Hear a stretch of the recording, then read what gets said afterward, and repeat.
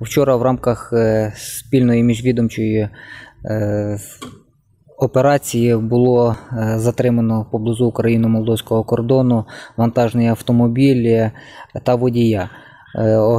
Оглядаючи автомобіль, було встановлено, що він перевозив 6 бочок 200-літрових з рідиною прозорого кольору з характерним запахом спирту.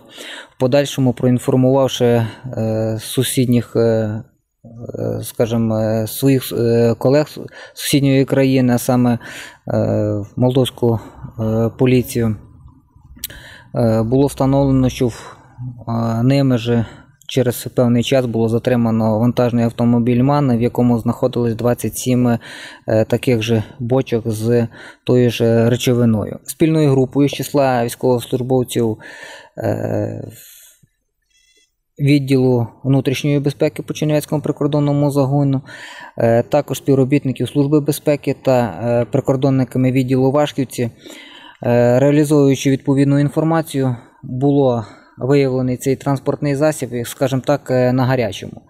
Для того, щоб е, водія, як кажуть, не було вже моментів для того, щоб він міг відвертітися, його було затримано на гарячому поблизу кордону, де вже були виявлені також е, відповідні дошки, по яких переносили спірт для того, щоб не затронути контрольно-слідову смугу.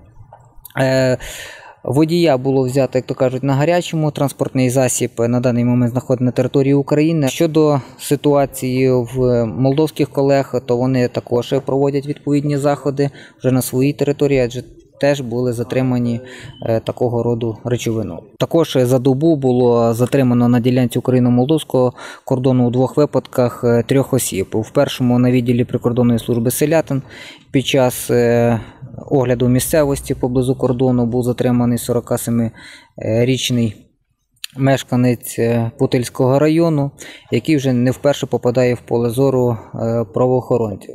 Чоловіка вже раніше затримували за порушення прикордонного режиму та спробу порушення державного кордону. На даний момент чоловік буде е, нести покарання за порушення прикордонного режиму та спробу перетину державного кордону. Інших двох таких осіб було затримано на сусідньому підрозділі відділі прикордонної служби Фольків, де е, під час е, перевірки загороджувального паркану, а саме на наявність е, слідів та е, ймовірних е, пошкоджень було виявлено двох осіб.